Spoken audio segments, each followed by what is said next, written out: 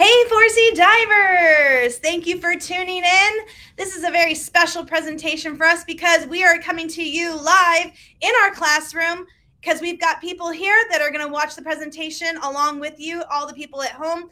I know some of you guys don't live close enough to get down here, so we wanted to make sure that this presentation was available for you because it is a fantastic topic. And we've got Adam Nardelli here. Adam, say hi. Hey, guys. All right, and we're going to be talking about the invasive lionfish, and we're going to let um, Adam do the PowerPoint presentation and talk. But just remember, guys, it is May, and it is our spearfishing month, so make sure that you go online, check out our spearfishing page, and come out and do some dives with us. We have a lionfish derby June 11th. If you want to get another person, two team or two person team, come out kill some lionfish, win some prizes. If you want more information about that, go on our website, www.force-e.com. All right. So, hey, everybody. Hey, guys. All right. Right, Adam, take Nicole. the floor. All right. So uh, before we begin, again, my name is Adam Nardelli. How many people here are already lionfish hunters? Awesome. Okay. Lionfish have been around for a while, so there are people who are consider themselves expert hunters for now, and I've designed this presentation to kind of uh, touch base with those hunters that are already hunting and people who have never hunted lionfish before. So I'm gonna there's two parts to this. I'm gonna go into the history of the invasion here in South Florida and the Caribbean, talking a little bit about, the natural history of lionfish. And then the second part, I'm going to talk about the control and the removal. And uh, it's sort of like a walk down memory lane for me because I've been working with lionfish for a long time. And uh, I'll talk about what we knew, what we learned, and what's going to work for the future. So, all right.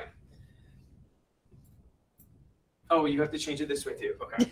I didn't. I thought it was in sync. I saw that change.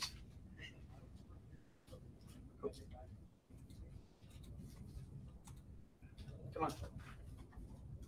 Uh, Come on. On the black. Or the- There we go. I know it's weird. Um, all right, so a little bit about my background.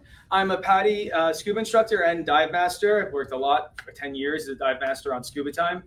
Um, I'm a high school marine science teacher today, and uh, I graduated from Nova Southeastern Oceanographic Center, um, studying uh, fishery science, uh, marine science, and uh, I'm a former reef intern. Now, uh, by the way, all these pictures here, it's funny, thanks to Google, um, uh, I didn't actually have these on file, and I was just looking up me and lionfish, and all this stuff came up. So really, like I said, I've been working with lionfish for a while. Um, this right here is one of the studies that I started. Another um, colleague that was in my fisheries lab took over the study and published it. Um, I, from the beginning of the invasion, and we were doing lionfish derbies, I was interested in um, the socioeconomics of the, the people who are coming to fish for lionfish and how does it support the community and is this an, a movement that can be sustainable to uh, uh, continue control of the invasion? Um, so we did find that people came from all over not just local areas uh, to, to support the lionfish removal efforts and brought a lot of money in and the catch effort was pretty good. Um, this is one of the first prototypes of the zookeeper.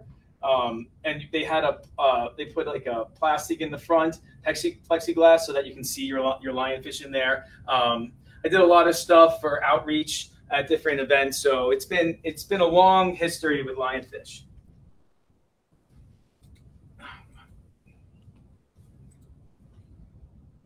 What if you hit the keyboard? The keyboard's not working. Oh, sorry. Um, all right, so let's just do a quick little test here. All of these species can be found here in South Florida. How many of them are native and how many are not native? So when we look at these, how many do you think there's more than two species that are native there? How many people think there's uh, more than three, well, uh, less than two species native? Okay, why do you, why did you raise your hand for that? I don't think any of them are native. Yeah. Um, none of these are native here to South Florida. They're everywhere in, here in South Florida. Um, and so we're going to talk about what makes a species native and what makes a species non-native or invasive is another term. Um, flamingos, everybody thinks of Florida and flamingos. And they have lawn uh, displays of plastic flamingos.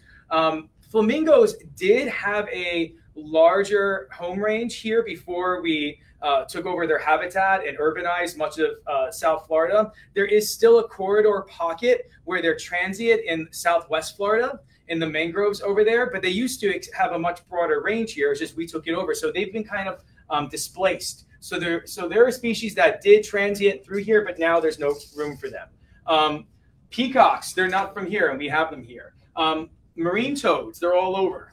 Um, papayas are not native from here, but they're delicious, right? Um, Cuban um, uh, frogs, uh, we've got parrots, Burmese pythons, armadillos are native to North America, but not to Florida, and they came in um, a long time ago during a change of sea level. Um, and, and they, they've basically expanded all of their range up Central America into North America. Um, iguanas definitely invasive and not native. And then uh, this is Australian pine, which is a really big problem here, but everybody plants it um, because for aesthetic reasons. So there's lots of different species here in Florida. Um, Florida has over 500 fish and other wildlife non-native species. Uh, I love this image here. There's Mickey right there, um, looking at the hazmat guys trying to get rid of all the invasive species. Um, so what is a native species?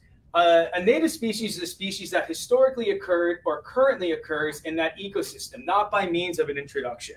So there's historical reference that it was always there. It gets pretty complex when you talk about places that are like islands uh, that develop as seamounts from the middle Pacific, like Hawaii, because all those species colonized that area, and, and when formed, there were no native species there. So you know, there's there's gray areas to that term. But a non-native species, also known as introduced, alien, exotic, non-indigenous, or naturalized, refers to organisms introduced to an area outside of their native range. So any species that's relocated from its native habitat to a non-native habitat is now a non-native species.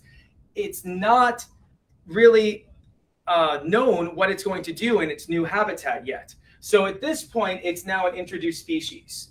As introduced species arrive as non-native, um, they evolved in one place and they were transported to a new ecological community brought by people either intentionally or unintentionally.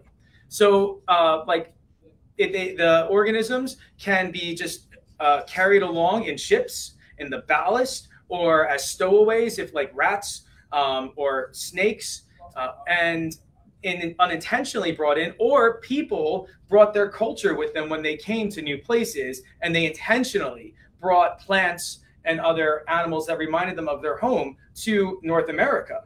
Um, and then for other reasons, we try to control uh, non-native species with their native species from their homeland. So we brought them in as well. So it's pretty complex of how we move species. This is a big problem that we created ourselves because we are homogenizing the world's biodiversity by moving all these species around. And we'll see that it's had some unintended consequences, especially with the lionfish. Um, most introduced species fail to establish populations, but the ones that thrive and flourish are called invasive species. Um, introductions can be useful, like crop plants or livestock that have been brought in. So some introductions could have positive benefits. Oh, Nicole, are you are you changing with me? Sorry, that one. Okay, next one. So, an invasive species is something else. Other introductions may be directly harmful to the environment. It's considered invasive when an alien species whose introduction does or is likely to cause economic or environmental harm to human health. Um, they can I refer to them as biological pollutants uh, because we think of pollution as chemical or physical waste. But when we bring in these organisms that are causing harm to the environment, um, it's another form of pollution. Um, so examples here in uh, Florida as well are kudzu. Um, all of southeastern United States are covered with these massive vine plants. And when you actually see kudzu just take over trees, it's impressive. When I drive up 95 to go up to uh, New York, you can see some areas just covered in it. Um, cane toads or marine toads are not only here in Florida, they're also invasive to Australia, and that's caused a big problem there. Um, zebra mussels took over Lake Michigan. Um, however, the positive benefit is that uh, because of all the eutrophication that was in Lake Michigan, which means that there is an excess amount of fertilizers and nutrients, um, that water was pretty much toxic before zebra mussels got in there. Zebra mussels, being powerful uh, filter feeders, cleaned up all the water of the Great Lakes, and now they're crystal clear. But they just overgrow everything, and they spread uh, through the tributaries of the Great Lakes through other rivers. Um, in a study that I read, cost to U.S. funds totaled 138 billion dollars per year in damages, losses, and control measures. So yes, the government does look at this because this is a big problem economically and uh, environmentally, and we don't want to pay for uh, cleanup. Okay, the the important part is to prevent this from happening. All right, so invasive species pose threats to community stability.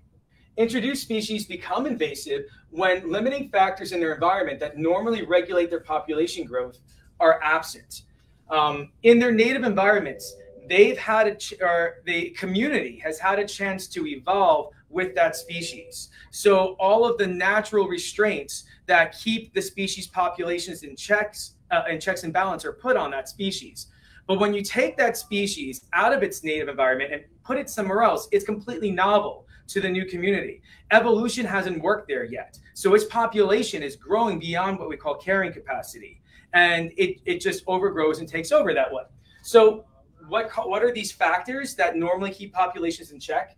Competition, predators, parasites. So in the non-native range, we see a lack of competition, a lack of predators or parasites that affect them in their uh, former native ranges. This gives these invaders an advantage over new community species. And I'll talk about that for the lionfish specifically in a minute. So how do they arrive? Um, there could be natural range expansions or disturbance events, like changes in sea level, might allow corridors or pathways for species to expand. Um, or a, a, big hurricane storm might blow species in uh, and raft them into other areas and islands. Um, so there are natural examples of species moving around. Um, but in introduction, uh, the intentional or unintentional escape, release, dissemination, or placement of a species in an ecosystem is usually the result of human activity. Oranges are not native to Florida, but we're the citrus state, right? Or at least we used to be before the crop failures. But um, oranges, in fact, even though they're flourishing flourishing in Europe as well, are actually native to Asia. So they've been brought all over the world. Um, ship ballast water this is a big problem. Um, it's actually caused some international regulations and laws to form because now ships have to exchange their ballast water out in the ocean so many miles before they come in. Why do they have to do that? Because what's floating around in this ballast water that they're carrying? All the larvae, all the juveniles of species from that native area that will have time to mature while they're hanging out in that ballast water. And then when they release their ballast water in the port, they just dumped all the larvae and juveniles of that species into the new area. So now there's regulations preventing it from doing that. If you're not sure, like in the all these uh, port freighter ships, they exchange ballast because they're trying to take in cargo, and the weight of the ship is going to be different when, whether they have cargo on them or it's moved off. So they have to suck in water to replace the weight of the cargo so they maintain the proper uh, ballast and sea level. Um, and then, of course, just aquarium release, um, which can be intentional or sometimes unintentional, but most of the time, people let go of their pets. And that's been the case for most of South Florida's uh, non native introduced species. I'm going this way. Which one's changing? Okay, so there are certain stages of the invasion process. They don't just happen overnight. Although, in, like in the case of the lionfish, usually by the time they're noticed, and they're already established. And at that point, their numbers are going to rapidly increase. The time that you want to stop it is here. As you move down the arrows, it gets harder and harder and harder to remove the invader. So the, at the first stage is transport, where we have uptake and transfer of the organism. Once it gets transported to the new area and it, it releases and it's surviving in that new area, it's now considered an introduction. We still have a good chance of getting rid of it when it's just an introduced species. But when one species that's a male sees the female and they mate and they start uh, uh, becoming a reproducing population, now we have establishment. We've established the colony of that species. And, and we have a growing population of, of a non-native species here. From that point, from that establishment place, it's now a stepping stone to be transported to other reef habitats. And pay attention to this because this is exactly what happened with the lionfish invasion. There's no better clear cut example. Um, and I'll go over the exact pathways of how it did in a moment. Um, so each phase is, it, um, can have um, the ability to be stopped up to establishment. So we are a non-native hotspot here in South Florida.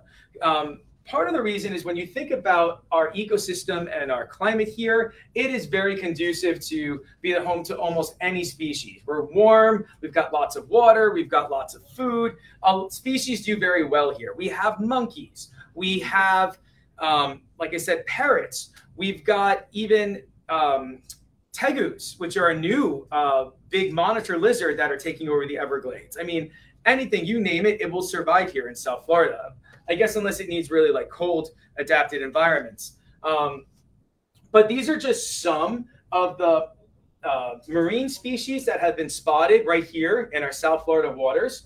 Um, there are 31 marine fish species that are non-native that have been observed. This is from um, the USGS um, information.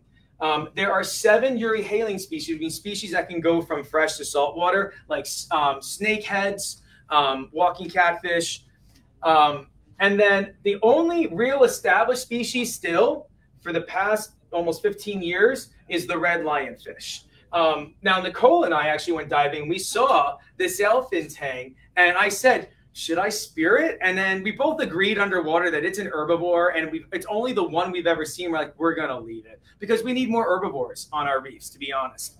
Um, and he hangs out at that this one spot every time I go to the this reef. What was it, Turtle Ledge? I think it was Turtle Ledge. He's always there at this one spot, and he hangs out with the other uh, surgeonfish and the grunts. Um, so we let him stay.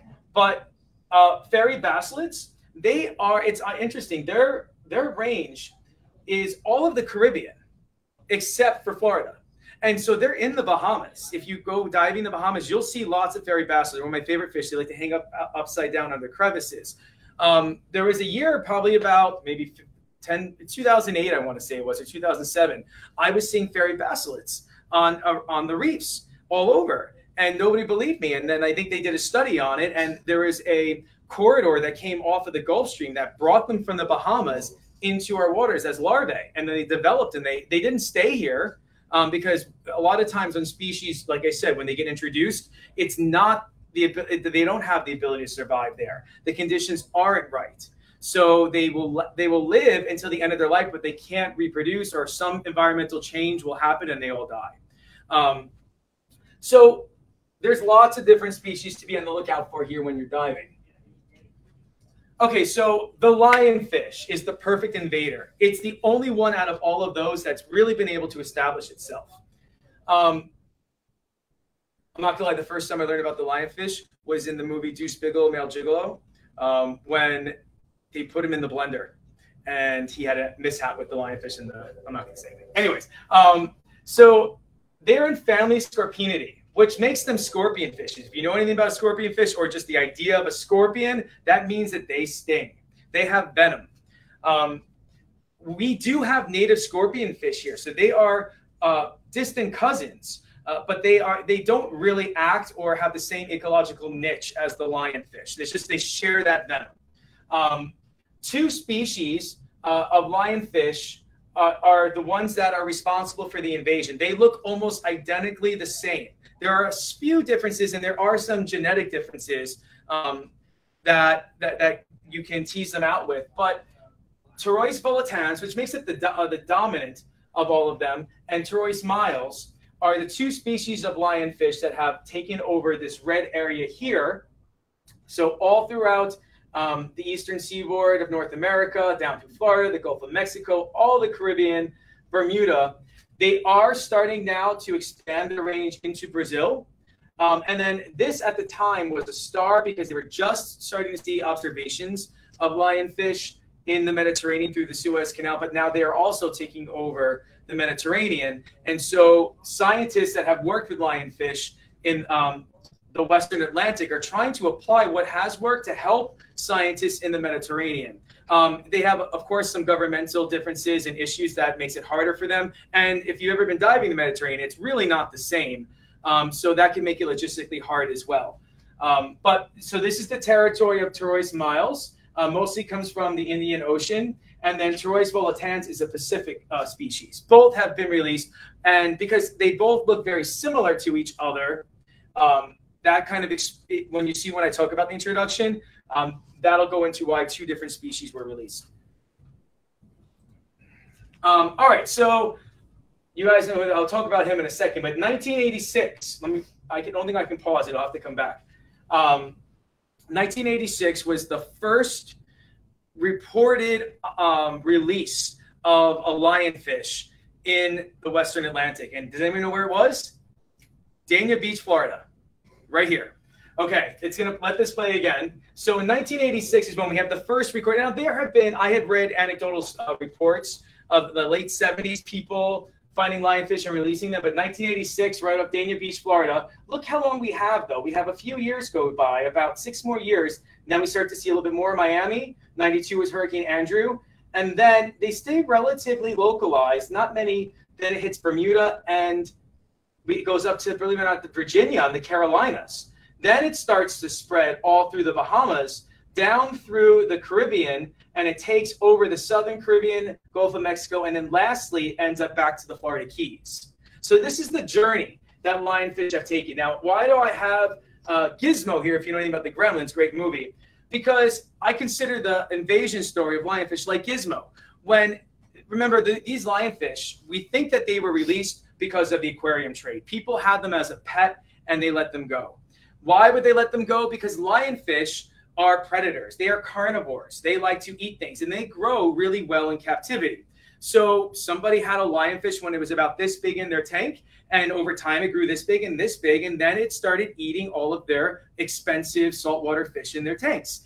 And that so what do you do with Lenny the lionfish? You don't want to kill Lenny the lionfish and put him in the toilet. First of all, he's expensive fish, and that's that's your boy Lenny. So they take him in a, in a net and they say, go be free and enjoy the ocean and swim with all the other fish out there. Well, if one person did it, 10 other and then a 100 other people have done it.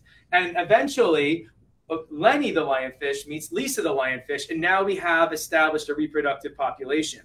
Um, so the idea with Gizmo is that when they brought Gizmo home, you know, they said, okay, you can keep him by himself, take keep him as a pet. They gave them rules about Gizmo, but then once those rules were broken, they turned to gremlins, which just kept reproducing and taking over. So all the lionfish from that point are the gremlins of that original Lenny the lionfish. Um, the reason why they spread around this way, I'm going to come back to, but can anybody think of what would connect all of these areas together? To help the lionfish move around? Currents. Exactly. Yep. I'll come back to that. Okay. So I, I, I made I started a presentation like this in 2014 and I had a slide that had a bunch of news he headings about it. So I thought it'd be fun to see where have they come since then. So in 2014, um, they were already making huge headlines. Lionfish bash helps control invasive species in South Florida. Um, fight intensifies against lionfish. Invasive species threatening ecosystems. Lionfish is the new terminator of the sea. Lion, the media has a frenzy over lionfish, and they love to talk about it, and they and they love to highlight it. Years later, we're still seeing this, but in new ways now. Um, we're still talking about the voracious and invasive lionfish taking over the Atlantic. Lionfish menace continues from the Sun Sentinel. That was just in 2021. excuse me. But now even the Masked Singer came out as a lionfish singer. Okay, so it's making the Masked Singer now. Um, then we've got new contraptions being created to help with the invasion. Um, I thought this one was just hilarious. The Roomba of the sea. It's a lionfish zapper that um, that basically stung uh, uh, stuns the lionfish with a zap, and then it, it's a submer- It's a it's a little ROV um, and it sucks up the lionfish after it's zapped. So there's all different gimmicks. It's still a heightened frenzy. People go crazy over lionfish. Is that something you can buy, or is that something that like big companies do to, you know, the zapper? I haven't seen the uh, ability to buy it. It was just uh, researchers that were using it okay. and and trying to control them. Um, they're probably trying to sell them to governments to use them. Um, okay, so back to the establishment and the introduction. So when we when we watched the jump from Florida in '92, there was Hurricane Andrew, so we think that was responsible for a couple of aquariums being destroyed near the ocean and letting them be released. But it goes from Bermuda to uh, the Carolinas. There, from there, it re- they really take a footing, and then the Bahamas gives them the launch they need to get through the Caribbean. And we already said, what do we think does this? What helps with that are the currents from the Gulf Stream. So if this is a thermal image of the Gulf Stream here, and you can see all the little eddies that create corridors. So if lionfish were released here, the lionfish had a moving highway that carried them up to Bermuda, and then uh, eddies can funnel off, and they took over the reefs near the Carolinas. And then from there, they found their way back down to the, uh, the Bahamas. Now, when we think about the lionfish moving around, it's really not the adult lionfish. They do swim and they move around, but they don't move around that much. They don't have the potential to carry huge ocean distances like this. Another part of their lifestyle and, and, is what has been on the move. It's their larvae. So these corridors are transporting the lionfish larvae, not the adults, um, as they relocate to the new locations. All right, so this uh, graph here shows um, the invasion process. Lionfish fit this model uh, very well. Um, and it also tells us where what we can do to control them and where's the lionfish now. So when we first see an invader, um, we don't really see it when it when it shows up. There's a lag time between the time it's been introduced to when it's really starting to rapidly appear like I showed you, 1986 to 1992, there was just a couple of them. And then overnight, almost, they took off. So that's the problem with these introduction events. We don't see it until it's already here and it's happened. So if, if you see a bunch of them, they've already been around for a good period of time. Um, the invasion, after it gets to its exponential growth phase, will have a peak. This is in what we what we call in classic ecology would be something similar to carrying capacity, but there really is no carrying capacity for an invasive species. Um, what the ecosystem looks like if the invader was to meet carrying capacity would be a completely different ecosystem because it's taken over and changed the dynamics of that. So it's not the normal carrying capacity um, anymore. What that what will happen though is the lionfish will eventually um, overtake enough of the area that the fact some factors will come in, like usually predator and prey dynamics. So if the predator runs out of prey, the predator population starts to go down and gives the uh, prey a chance to rebound. That's where we have equilibrium. The problem is that if lionfish get to this point where they've done that, we've decimated most of the native fish at that point. So um, right now, lionfish are still in this exponential growth phase, even from the time that I've been research, researching them since 2009. Um, we've kept them here. Why? Because we've been able to create uh, teams of, of, of divers to go out and control the population. So we have not yet seen the invasion peak. They, we won't ever, once they're established here, it will never go back the other way.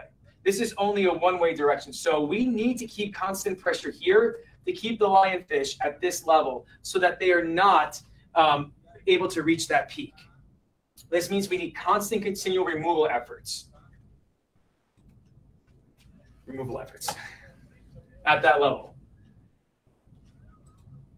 Okay, so what makes the lionfish the perfect invader? What life history traits about it? Um, Superman's one of my favorite superheroes, so I try to throw him in wherever I can. Um, if you think about Superman, though, even though he lives on planet Earth, he's an alien from Krypton. So he came from an, uh, another planet. He is a non-native on planet Earth, and he the reason why he has his superpowers is because the Earth's gravity, gravity and the sun doesn't work on him like it does everybody else. If he goes to Krypton, he's like a regular person. Um, he, he, doesn't have the superpowers, but it's the it's the um, the heat and the rays from the, our sun and the gravity of planet Earth that because of his dense molecular bone structure that gives him the, all the powers that he has.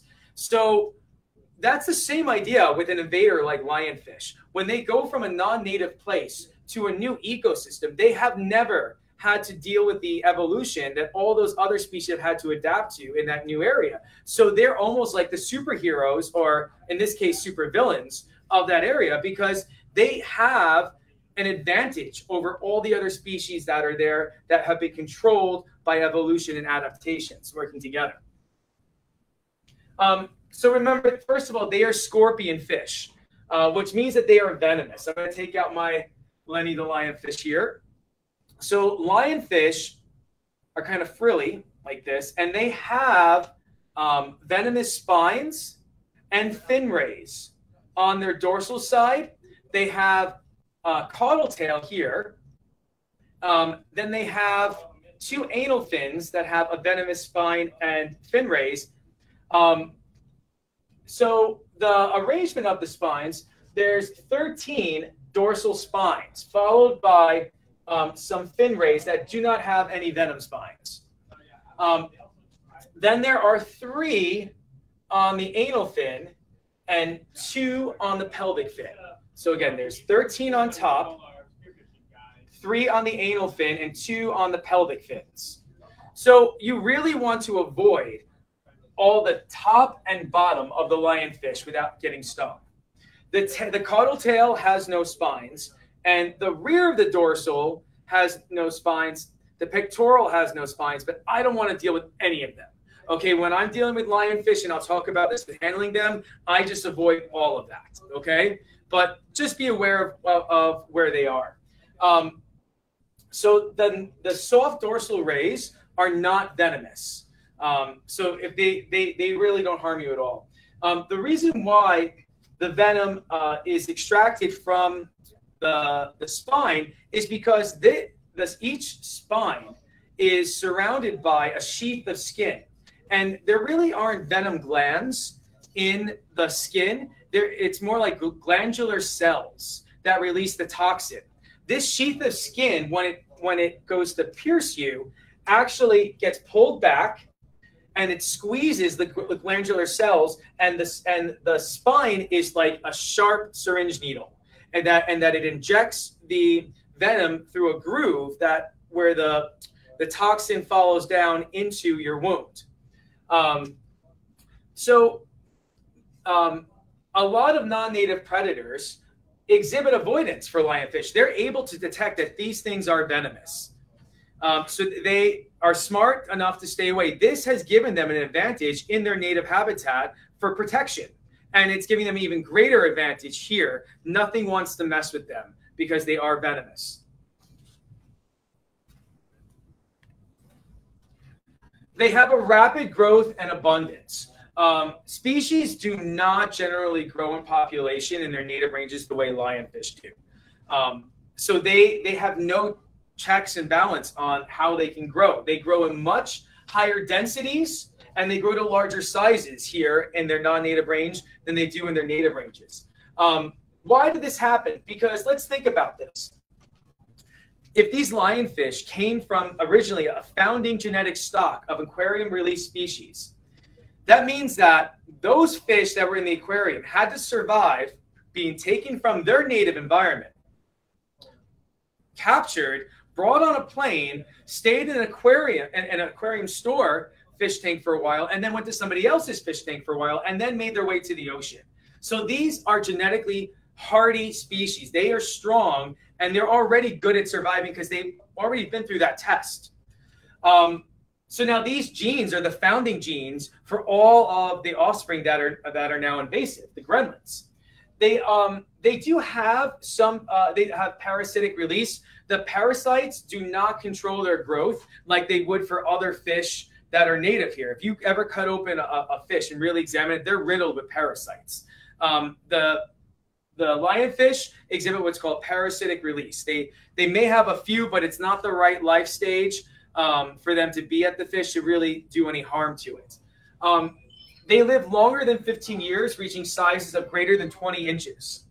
Uh, the average size of a non-native lionfish uh, was uh, is about 7.4 inches, um, but ranges uh, in size can be from uh, 1 to 15.3 inches.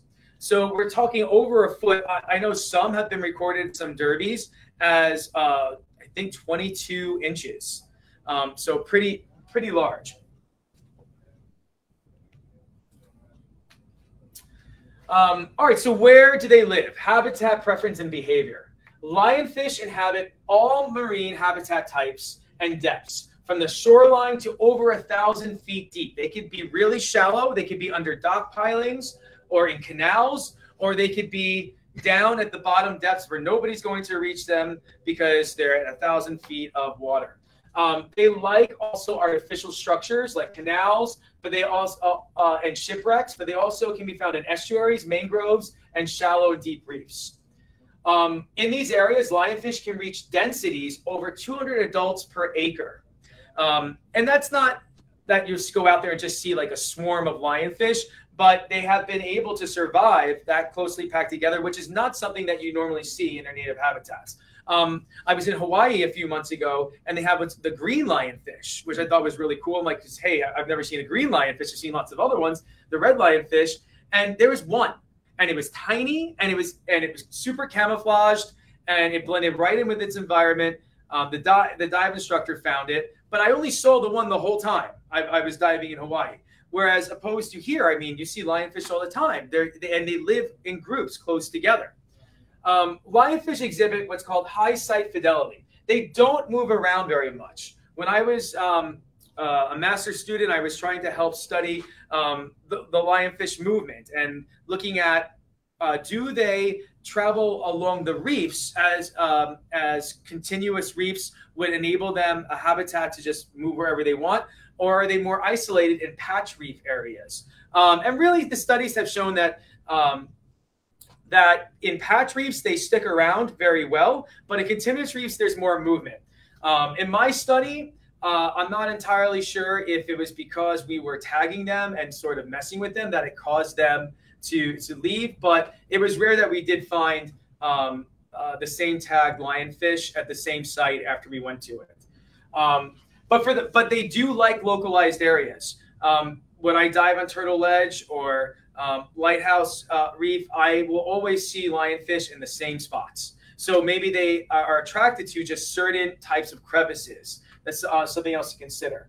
Um, they are commonly observed along reef ledges and outcroppings, hovering near motionless, with their head tilted slightly down. So if I use Lenny the lionfish here again, most of the time they're almost motionless, like they're just hovering and they always have their head tilted down a little bit with their caudal tails up at this angle because they're scanning.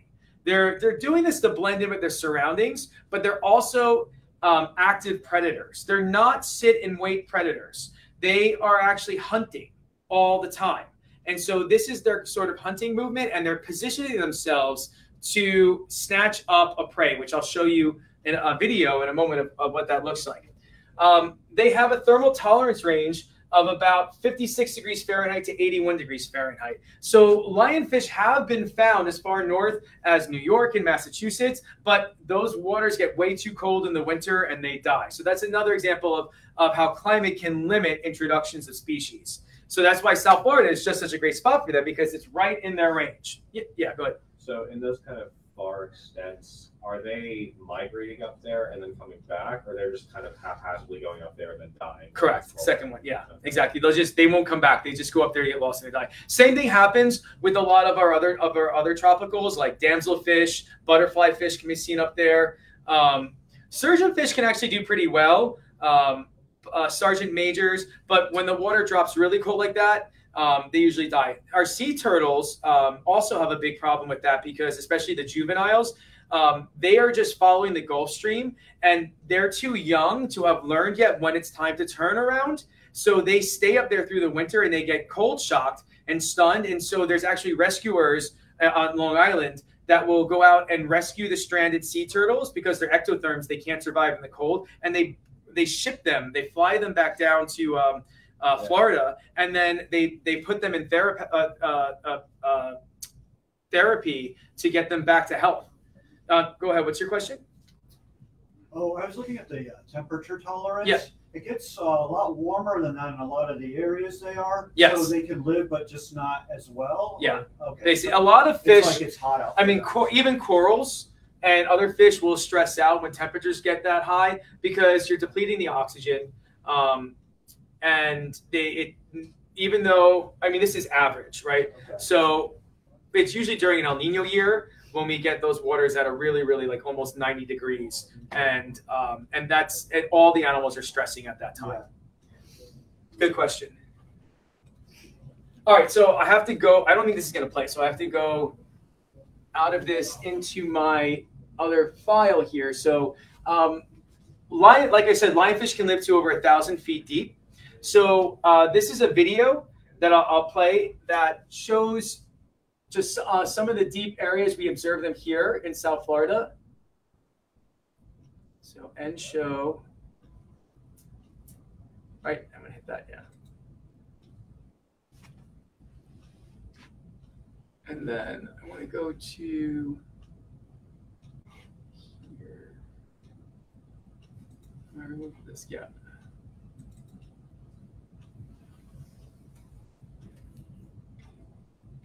Wait.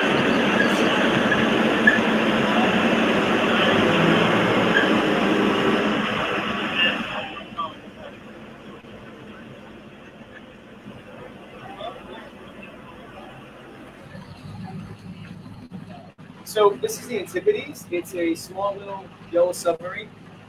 Um, it was uh, donated for usage at Nova Southeastern for about a week, and all different scientists went out on it um, uh, to observe lionfish in the depths. It can only go about six, I think, knots, so it has to be transported with another towboat to its destination, and then it can be deployed.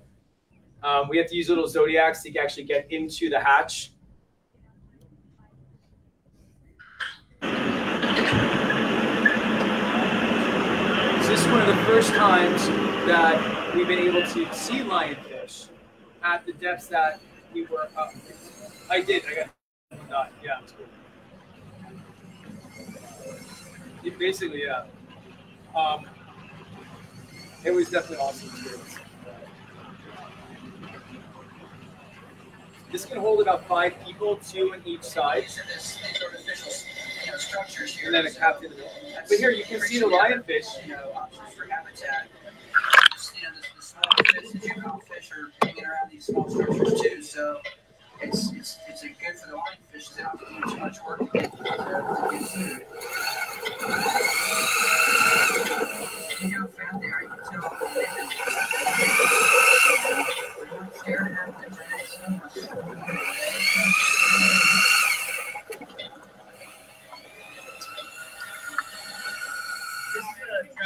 making use of this these artificial you know structures here, so that's increasing their you know options for habitat. The, just, you know the, the smaller fish, the juvenile fish, are hanging around these small structures too. So it's it's it's a good for the lionfish they don't have to do too much work to get to, to get food.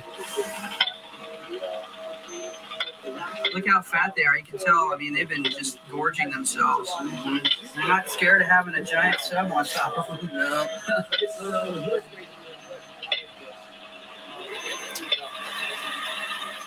This is a trap that uh, we used to collect our lionfish in. It has basically uh, it's, it's called it's called the Frapper. It's made by Bob Hickerson, and it's a lobster condo with the flap in here still that's been modified so that it's they got more of a com- uh, circumference uh, covered, and then the outside they've taken the mesh part of the lobster trap off and put a dry bag around it with a nice handy zipper, so you don't have to reach around and grab all those spines. You just dump the lionfish right out. So that makes it nice and handy.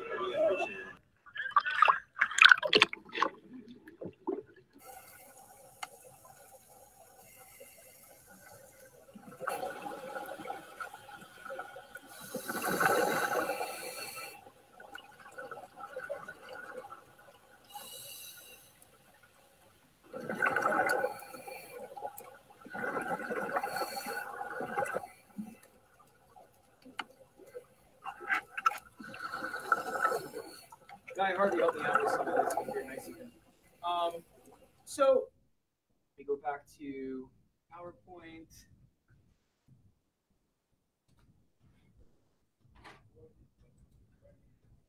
So as you can see, lionfish can be found on shallow reefs under natural crevices, or in that example where they were at, uh, I think that was probably like 400 feet. I, the one I went to was about 330.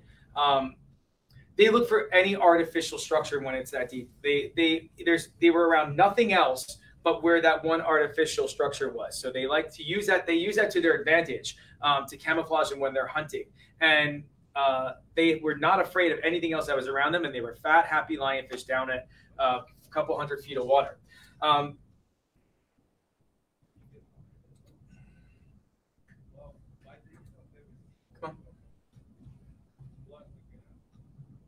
There we go. So lionfish have high reproductive rates. Lionfish become sexually mature in less than a year and spawn in pairs. Um, they usually do a little bit of a courtship uh, with each other. A single female lionfish can spawn over 2 million eggs per year. Uh, after courtship, reproduction occurs throughout the year about every 30 days. So that means like once a month, a female is able to release these egg masses.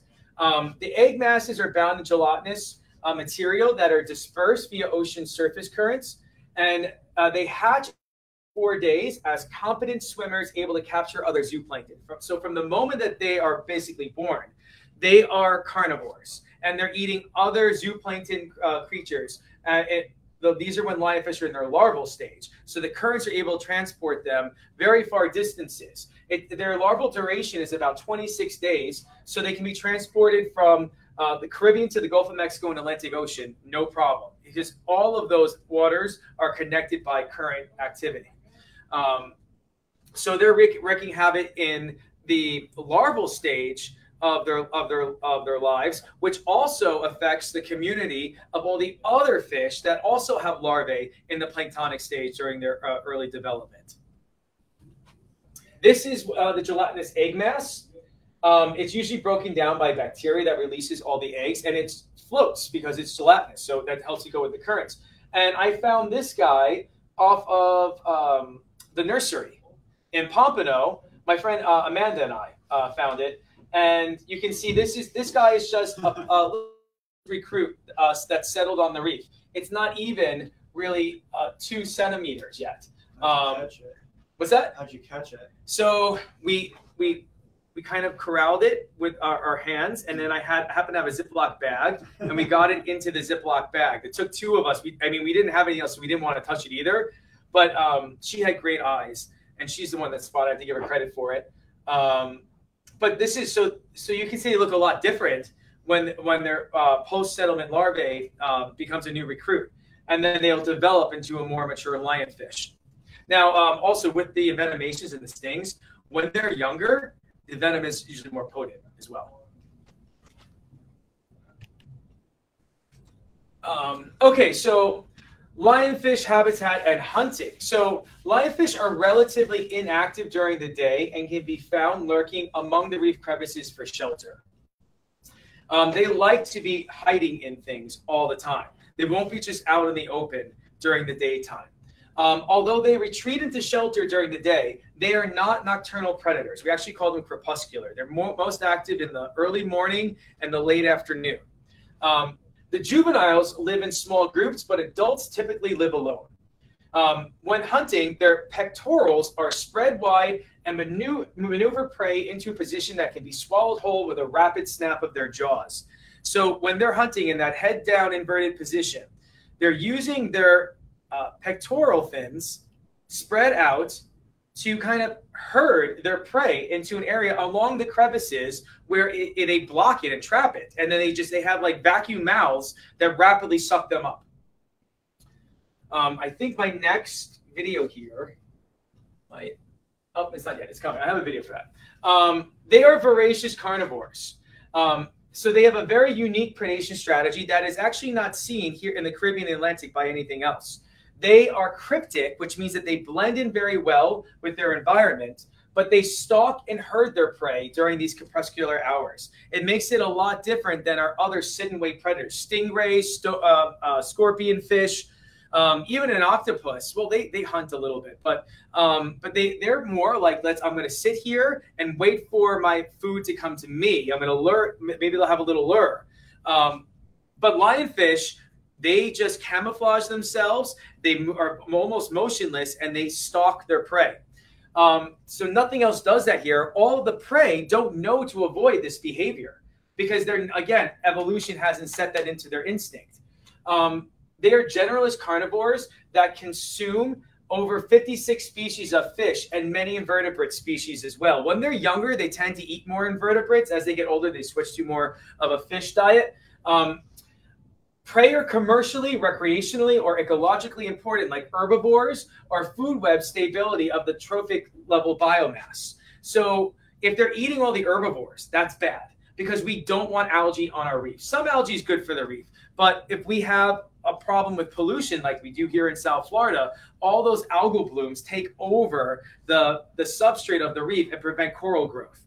Um, and it also changes the whole um, uh, trophic levels uh, dynamics that that are, is responsible for expanding that energy through the food web. So they can cause what's called um, a trophic cascade and affect the entire food web this way. Um, they consume prey up to two thirds of the lionfish's body size. I have seen uh, lionfish with their mouth agape, and they can't close it because there's a fish still stuck in its mouth. Um, and this is a, a, fish that was dissected. This came from reef, and you can see all of these were found in its stomach contents. They haven't even been fully digested yet. I used to do lots of dissections with them, and always, I mean, you noticeable how many fish that you can identify um, inside their guts. Um, but lots of herbivores and juveniles, even um, juvenile Nassau grouper, which are endangered. Do they do any crustaceans? Yes, they yeah they do crustaceans. Yep, little shrimps. Um, here we go. So lionfish stalk and corral their play. I have to switch back out of this because it doesn't want to play in this format. What about cephalopods? That's a great question. I have not seen that, but they don't have much bone, or they, um, they really only have their beaks. Mm-hmm. So that was that's all that would be left after digestion, really. Um, so I think that's hard to detect. Uh, but maybe that's that's a great things to look into. Open with.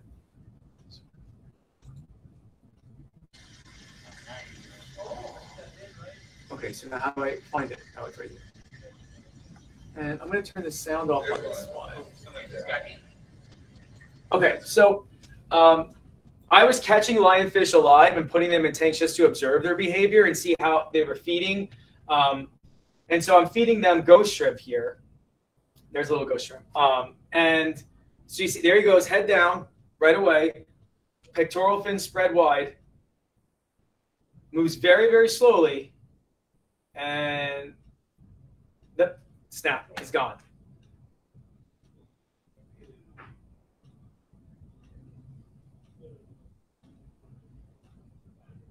This he sees another one. Yep, see that? See how rapid that is? Their mouth actually protrudes forward and creates a suction. Um, there's that head down inverted posture. So these guys are active hunters. Um, and this was a tank that I had at um, the NOVA Oceanographic Center facility.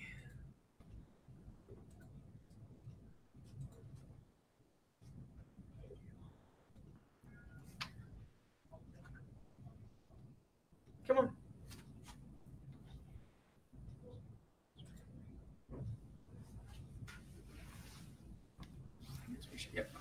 So invasion impacts.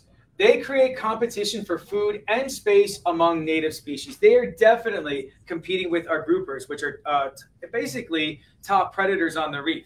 Um, so I've even seen groupers in uh, deep uh, depths eat a shark. So um, groupers are big carnivores. They can compete with sharks. Um, but lionfish are doing a pretty good job competing with the native groupers uh, because they they prey on the same species that um, groupers would. Um, they also do a good job. They they have been reported eating lobsters. So you asked about crustacean. They do eat lobsters, um, but they're also not just worried about competing with all these other species for food and taking away the food.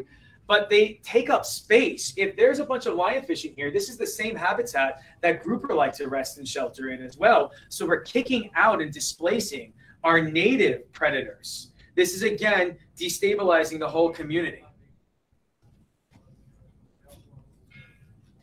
Um, so we are what we have seen, and luckily control efforts have put a stop measure to this, but um, where lionfish were not in control, and especially at the early stage of the invasion, um, we've had a biodiversity reduction in the native species on reefs. Um, there are fewer large predatory reef game fish for human consumption, and we lost our top-down predator control. Um, this triggers cascading impacts through the disruptions of the food web. So we go from a nice, healthy, complex food web ecosystem here to adding the lionfish in there, and now we've got disturbance in our ecosystem. I'm not currently.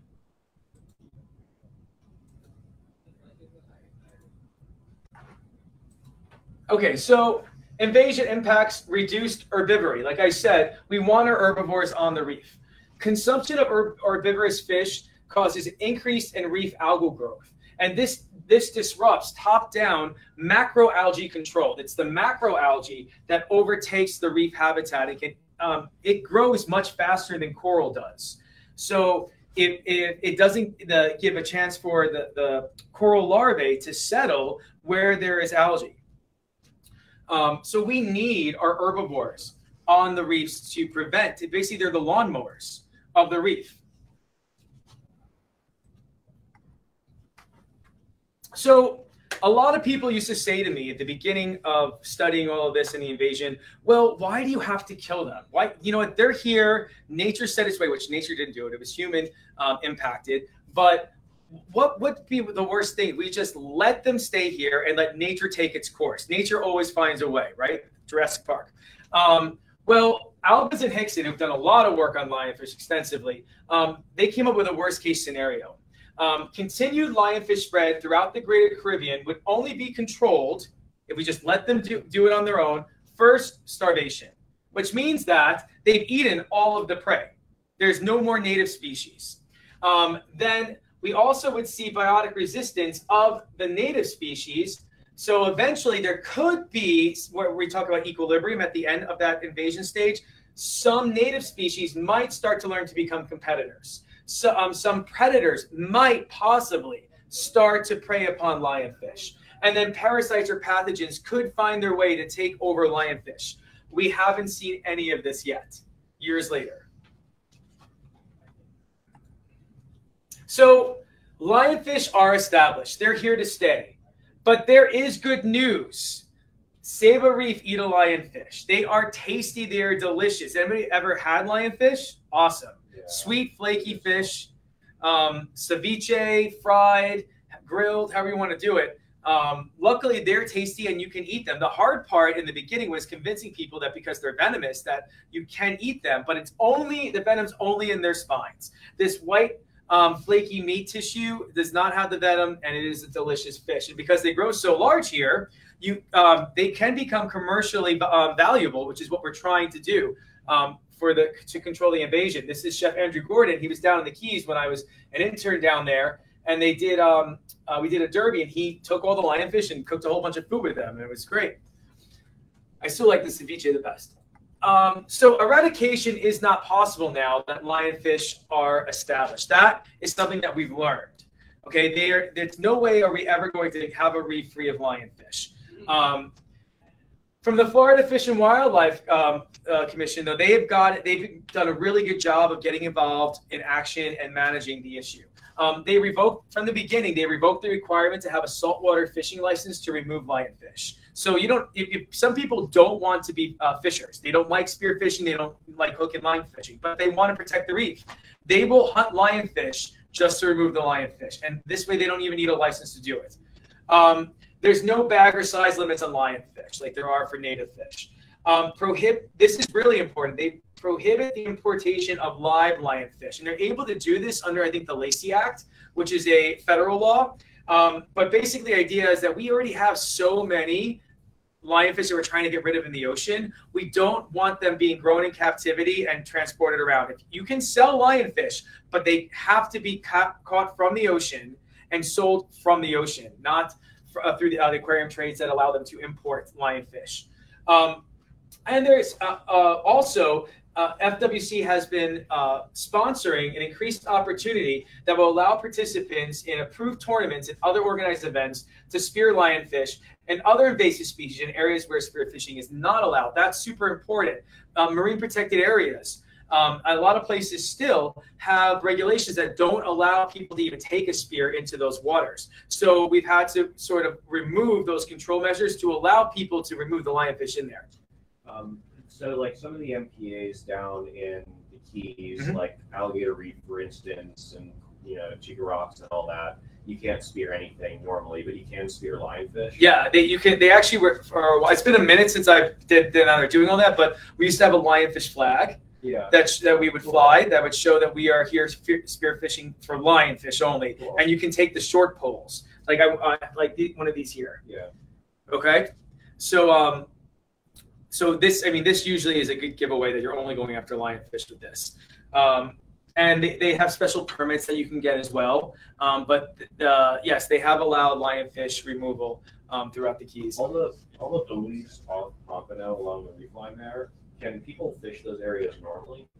Like yeah, on real fish and spearfish. Yes, there are no restrictions or regulations here in Pompano, which I think is unfortunate. They tried years ago to create a marine protected area there and, and regulate the fishing, and everybody came out and was like, no, against it. I will say though, up at the Blue Heron Bridge, you can collect them, but you can't bring in a spear. You have to collect them with those the, uh, nets. the net bags. Yeah, I'll show you how to do that. I have that. Um, yeah, so like places like that though, they still regulate. You have to check the location because uh, Blue Heron Bridge is now a marine protected area, correct? Yeah. Uh, it's a no take zone. It's no take zone. Okay. Well, no take on scuba because they right. have the fishing pier. Oh, right. Yeah, yeah. yeah. Um, all right. So, what are we relying on for this? Local human control. This is shown to be the greatest measure in uh, controlling the lionfish invasion. Uh, but there are limitations. Uh, the, we have to stay within safe dive depths and maintain a proper bottom time. It's not worth it to go into deco for your lionfish. And like I showed you, we are limited to um, recreational divers max depth 140 feet. And if you're a tech diver, you may go down deeper. I actually have pictures of I gave some tech divers some lionfish bags and and they did spear, but honestly, um, they have such a long deco time on the way up. They're stuck holding these lionfish, so they don't want to take them down there with all their bottles. So lionfish are, can be even beyond that, and over a thousand feet. Maybe some rebreathers will go down there, but um, uh, at a thousand feet, really, they they have free range of territory. Um, so that's a big limitation how we control them. We're really only able to target them in certain areas. Um, visual detection may underestimate population size because, due to cryptic and crepuscular behavior. So because they blend in so well, and because they're only most active during the daytime, early morning, I'm sorry, early morning and late evening, it makes it really, really hard for us to be there when the lionfish are there. Um, how many lionfish should be removed to decrease the population? Well, in a study done by Morris, um, James Morris, um, in his model, 27% of the adult lionfish population needed to be removed per month in order to just maintain um, a normal balance. Um, said in her model came up with 65% per year. Um, so that is a big effort of, of, how many lionfish you have to remove. And again, we may not even know their full population in the area because they hide in so many crevices so well. Um, all right, so lionfish hunting. First, have a lionfish prepared kit if you are hunting. Here are some essentials for lionfish hunting. You want to have protective puncture-proof gloves, especially, and that's for a certain situation when you're handling them. These gloves right here are um, cut-proof, but they are not puncture-proof. So their spines will go through this. Um, and I, I will show you and I'll talk about how you can just avoid that altogether. But if you're going to be handling them, you really only want to use the Kevlar um, pu uh, puncture proof gloves, uh, Hexar, I'm sorry, Hexar puncture proof gloves, um, which are hard to find. Um, you want to have a pole spear So there's a lot of different sizes of pole spears, right? Some people do like to um, hunt lionfish with a spear like this because they feel like they can get um, further into some of the deeper crevices.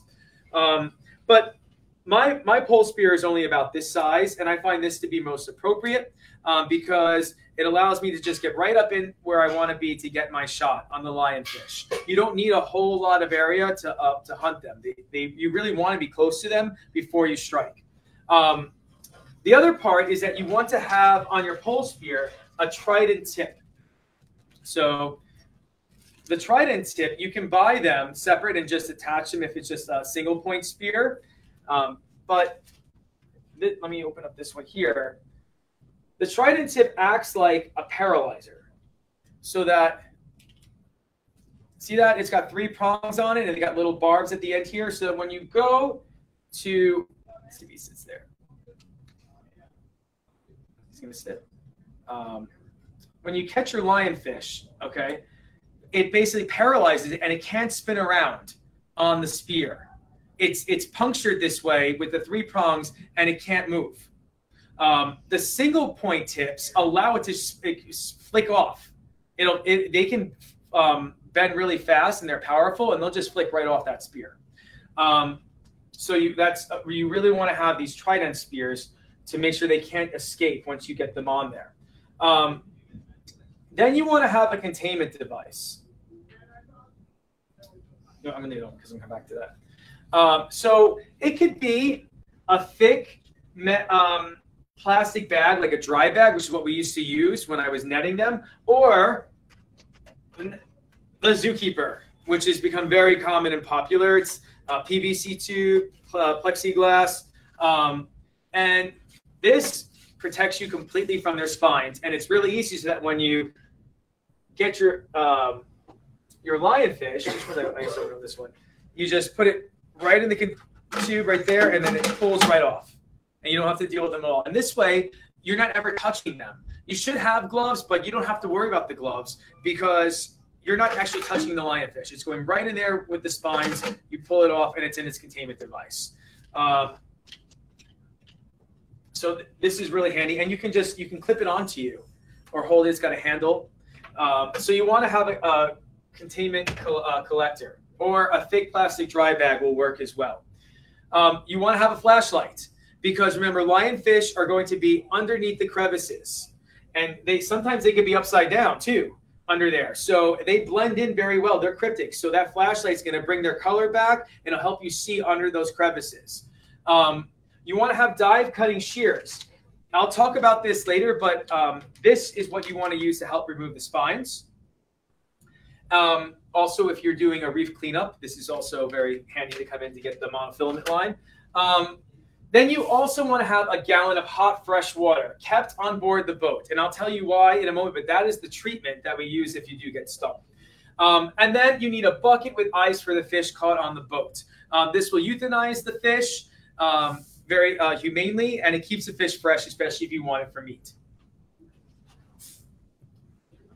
Um, yes. Any, does anybody just use some kind of method to strip the fish off the pole and leave it for scavengers? Um, so yeah, I'll talk about that, but people do, and yeah, I'll talk about that. I'll come back to that. Um, control methods. Um, so protect your hands from the envenomation with the puncture-proof gloves. These have um, this hex armor they have a pad in here, not in the palm side, but on the back side that protects from the uh, spines. Um, so that's if your so if your, your hand is near it this way, it's protection there. Um, and it's pretty strong here, but they can still puncture through. But these are what we're using for a long time when we're holding the lionfish um, and catching them. And then you can see they're using shears to remove those venomous spines. Um, so you want to protect your hands and remove the spines. Um, lionfish generally avoid human divers. Um, if, if you approach them too fast, they will retreat. Um, worldwide, scorpion fish is ranked second only to stingrays in the total number of envenomation, with an estimated occurrence of approximately 40,000 to 50,000 cases annually. I've been stung by stingray. Yeah, by stingray, not lionfish. So really, yeah. stingrays tend to be still the more dominant Um, and when we think about how lionfish have spread everywhere, stingrays still are responsible for it, the number one. Um, but lionfish stings can be severe. The severity of the sting reactions um, in humans is dependent upon a number of factors the location of the sting, um, the amount of venom delivered, and the strength of the immune system of the victim. It's different for everybody. Um, localized envenomation symptoms include persistent, intense throbbing, radiating sharp pain at the site of the envenomation. It is the worst pain of your life. And I know that women have uh, childbirth. This is not, if not that, 10 times. It's like somebody just put your hand in a vice and smashed it. Um, it is a throbbing pain. Um, then afterwards, you might get a tingling sensation. It could get hot and sweaty or uh, and blister as well. Um, worst case examples of the envenomation may cause headache, nausea. I had a friend. Uh, I'll talk about that. Headache, nausea, vomiting happened.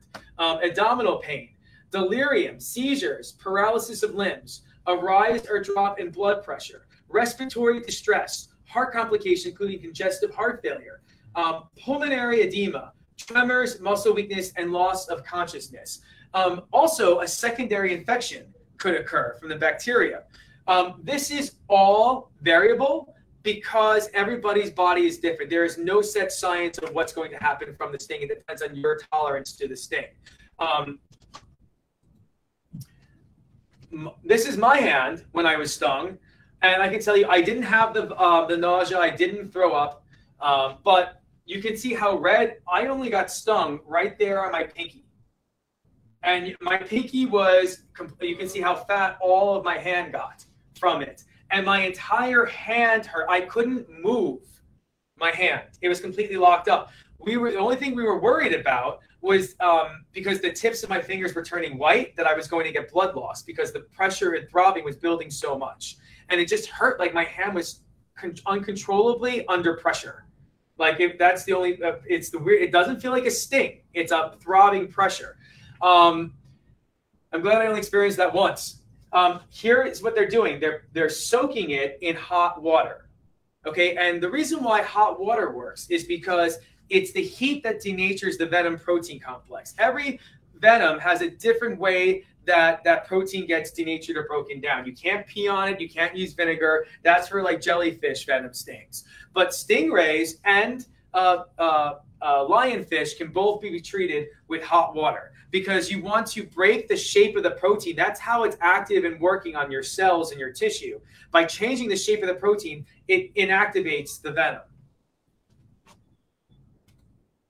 Um, so basic treatment for lionfish envenomation includes immersing the afflicted area in hot water about um, uh, at a, about 100 degrees um, Celsius, um, which is boiling, right? So you want to test that before with your good hand before you put your hand in there because it's very important that you don't burn the, your skin.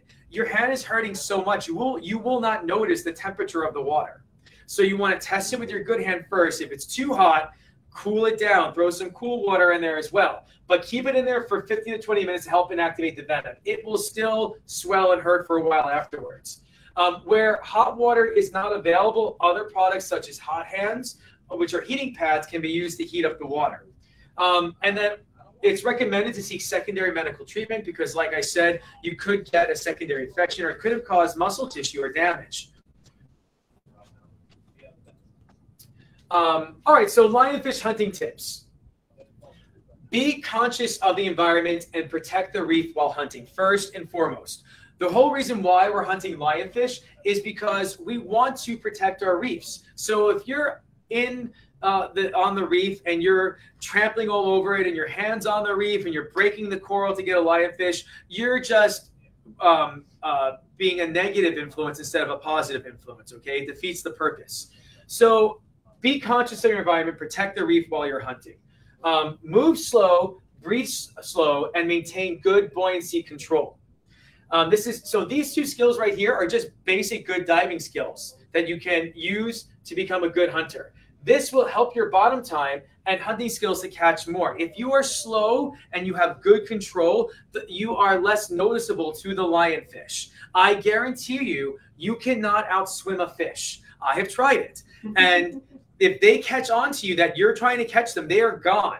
So you want to maintain good buoyancy to hover like they hover. You got to kind of be the predator yourself. And then you want to just very, very slowly creep up on them and have good lung control to do that. Also, having good lung control means that you're conserving your air and you can spend more time down there. It's very easy to get caught up in your hunting and trying to catch that lionfish, and then you look down at your air and you've got like 200 pounds when you thought you had a thousand. Okay, so you want to be aware of your pressure and your breathing while you're doing this. Um, think like a hammerhead. You know, when hammerhead sharks swim, they swim from side to side. They have all that sensory in their heads. Okay, they swivel swim like this. So be a swivel swimmer you want to scan across the entire reef. Don't get focused in one area. You want to be able to go up the reef and down the reef, zigzag around it, um, so that you uh, create a broader path of where you're uh, looking for your lionfish. Look under crevices, but do not stick your head or hand inside because what else could be in there? A moray eel, maybe a nurse shark, something else, okay? Or maybe you put your hand on the lionfish. So you don't want to necessarily go inside and reach in. That's why your flashlight would come in handy. Um, uh, under the crevices, sometimes this is the only place to find them. So again, carry a flashlight and use your inverted body posture. Then, if you're good and your buoyancy, you can you can dive with your head down and your feet up, and then you can shoot them that way, or at least find them and reposition yourself. Um, lionfish are crepuscular, so hunt at dawn or dusk when they are most active. Um, most people don't dive at those times, so you're going to be looking under those crevices. Um, visit artificial reefs because in most cases that is the only habitat structure in the area for them to go to. So they will they will target those artificial sites because a lot of these everything else around it is just sand usually.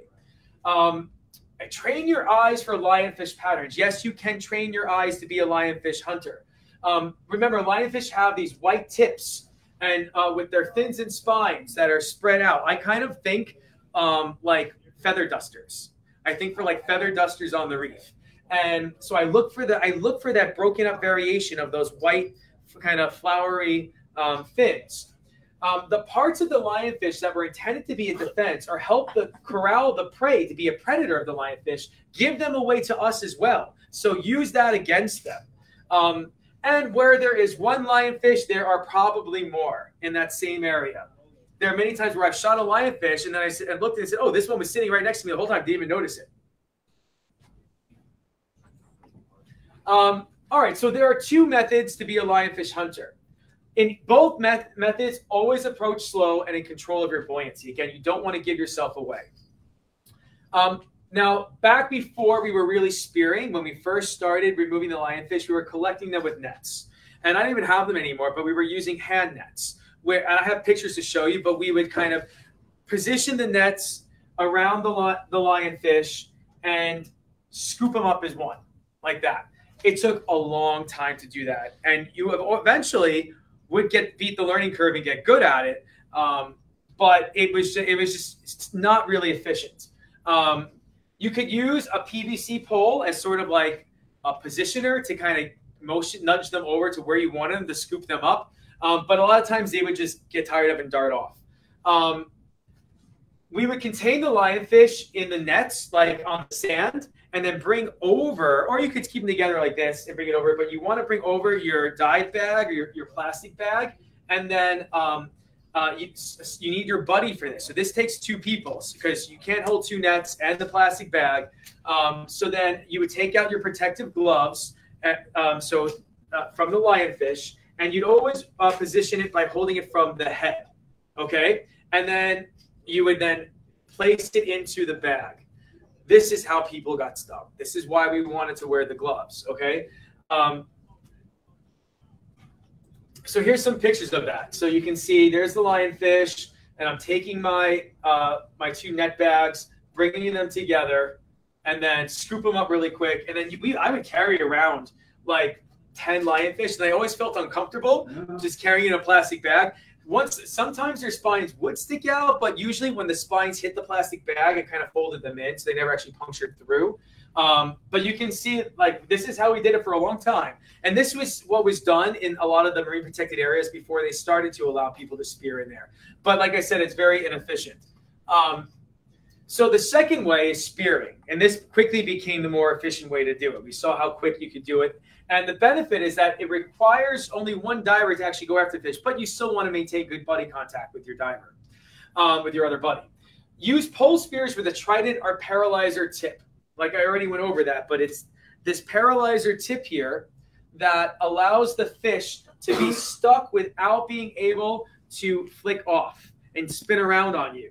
Um, with the pole spears, um, they basically have this band,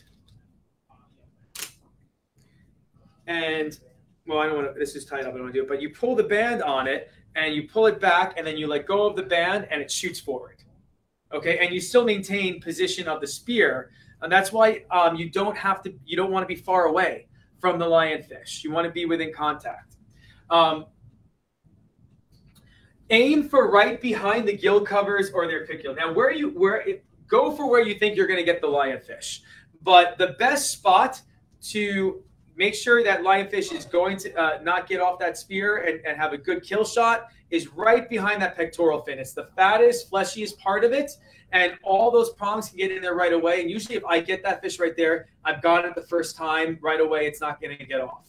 So that's really the best spot. So I mean, I've I've gotten them here on the tail, but then they can still even flick off because this is so thin here. They can just move their tail. They have more of their power up here. So this really just um, uh, uh, restricts them if you get them right behind here, and it's easiest to put them into the zookeeper that way.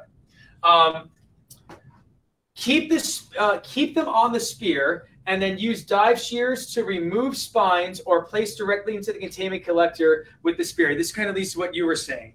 Um, so some people take the lionfish and hold it down with the spear, like in the sand, and keep it immobilized. And then underwater, they cut off all the spines because they don't want to deal with it at all. They want to take care of it there.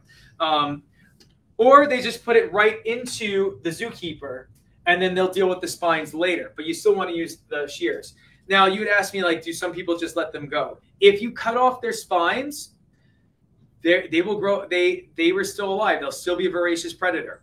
Um, if you uh, don't cut up the spines, just let them go, and you think they have a good wound on them, they will heal. Fish are really, really good at healing and recovering. Um, they have a really, you know, their immune system. These things are, are even though they're fish, um, they can tolerate a lot of diseases and pain, and and they will grow. I've seen uh, lionfish with scars um, survive, and they learn. If you let them go, they learn very very fast of what it means to be hunted, and they are harder to catch the second time. I mean, even with um, if you miss the first time, they've already learned what you're doing, and it's hard to catch them again. Um, I have left lionfish underwater, but I take um, I, I hold them down with my spear. I take out my dive knife and I uh, put it through both their eyes to break the brainstem, and then they're and they just float up dead completely. So if I didn't have a containment device and I and I caught a lionfish um, and I didn't want to bring it up, I'm not recommending that's what everybody does, but that's that's what I have done in the past. I've never just let the lionfish go. Um, and yeah. There's a question on the online. Um, is it better to cut their spines off underwater or wait till you get back on the boat? I'm going to address that in a second. It's okay. a really good question. Um, so here's spearing. Um, so you can see they're very effective in the zookeeper. You can still get a, a whole lot of them using the, the short pole spear. Um, see, my spear is a little bit longer. Um, and I've got the lionfish uh, and a paralyzer tip, so I can swim with it, and it's not going anywhere. Um, and then usually, like I hold it down onto like the not the reef, but like the sand area, and I can, that's where I'll cut the spines off underwater there. Um, here's some more with the zookeeper and spearing. So it's really easy to administer the putting the fish into the zookeeper. Um, so here you can see the again, also the, the, spear is towards the head, right behind their per, uh, operculum. There again as well. That's the best spot to um, to uh, spear them. Um, what not to do. Um, there are a few known predators of lionfish. Studies have observed coronetfish in the native ocean ranges eating lionfish. Um, we don't have cor- we have some, um, uh, we don't have coronet fish here. Uh, well, we do, but they're not the same size. They're they're totally different here. Um, and also, our coronet fish have not seen lionfish before. Um, larger lionfish consume smaller lionfish as cannibals. So that has been observed. Um, many sharks are known to consume noxious or venomous prey with no obvious signs of ill effects. So some sharks can tolerate um, the, the lionfish and they are opportunistic, so they perhaps will eat them. Um, but divers are feeding lionfish to groupers and eels in hopes that they will become a part of their diet. There is no conclusive evidence that top predators can learn to prey on lionfish, but they can learn to get a quick snack from that diver. So that's really all you're teaching them. There are some dive sites now where, um, like in the Caymans, the Nassau grouper will take you to the lionfish and ask to be fed, but they are not getting it themselves. They're they're like puppy dogs. They're lazy. They want to be taken care of. In the Bahamas, I know I've heard some stories where it was so hard to remove the lionfish because the sharks were going after the containment devices.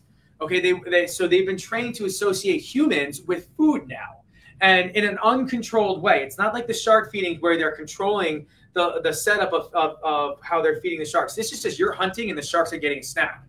Um, so this is not a behavior that we want to encourage in areas because it makes it harder for us to dive safely. Um, so we don't want to be eaten by a moray eel or get bit by a moray eel mistakenly. Also, this now answers that question do not remove lionfish spines on the boat. As, as, someone who's worked as a dive master on a boat for a very long time, I used to yell at my divers. It was a pet peeve. Even if one spine stayed on the boat and somebody stepped on it, that's all it needs. These spines still contain the venom even after they're cut off. Okay, and so I would see divers cutting the spines. It's like, no, take that back to the dock. Either take, either leave this, take the spines off in the water um, while you're diving, or leave them in the bucket um, not the zookeeper, but your ice bucket, and then bring them back to the dock and take their spines off there on the fish cutting table. Um, so uh, remove the spines back at the dock, not on the boat. Uh, this happened to my friend Amanda, who was a dive master on Scuba Time. Somebody uh, brought up a lionfish on uh, a gun spear. It had a single point, and he handed her the gun and the and saw all the spines on it, and the lionfish slid down the pole onto her hand and stabbed her hand. And this is the morning trip. I immediately got a phone call and said she was throwing up and she was not able to work the afternoon trip, so I had to work for her, which is fine. I mean, I, I don't mind working, but um, I love diving. But uh, like you know, the spines do not belong uncontained on a boat. It's very easy to cause these envenomations, and people don't get it because they've never been stung yet themselves. This is a very big deal. It's my big pet peeve. Um, all right, so what can you do? Get involved, join a group. This is just from Facebook. I put in lionfish. You can see there's a group called Lionfish Hunters. Um, there's Florida Lionfish Derbies or Lionfish Hunters of Florida. So there's a lot of social um, uh, meetups and avenues to, um, let me just, yeah, a lot of social meetups and avenues uh, uh, to participate in these lionfish removal events.